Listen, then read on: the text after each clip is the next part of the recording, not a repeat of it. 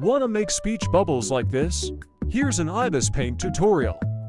There's two main ways, box fill and border color. Let's start with box fill. First grab your text boxes. Now make a new layer under them. For brush use felt tip pen. Adjust the size to be however round you want the corners to be. And make the color blank white. Now press this hand button up here. Under drawing tool press rectangle. Make sure these are both turned on. Now drag from corner to corner. Bam, easy rounded square.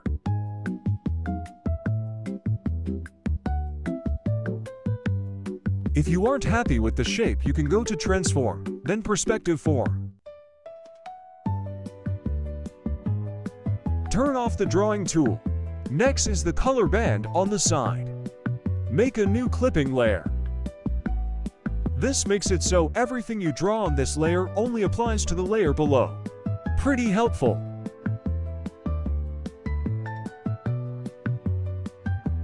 Last thing is the arrow.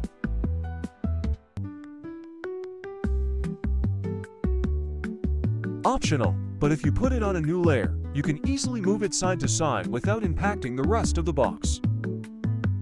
Also optional, but I do a few touch-ups with the Liquify pen to make it a better shape and look more organic. If you don't like the location of your speech bubbles, there's an easy fix. Add a special layer, then add folder. Drag everything except the text inside the folder. Make sure the folder is selected in blue. Then lasso tool the whole box. The other method is border color. Go back to step 1 with the text boxes. Under Style, turn up border thickness and adjust the padding. This method is faster if you're doing a long comic, but I don't prefer it because I can't use the Liquify pen on the box without rasterizing the text. After that repeat the same steps for color and arrow. One last tip is that if a character speaks twice in a row, duplicate the box, but hide the arrow, and put it above.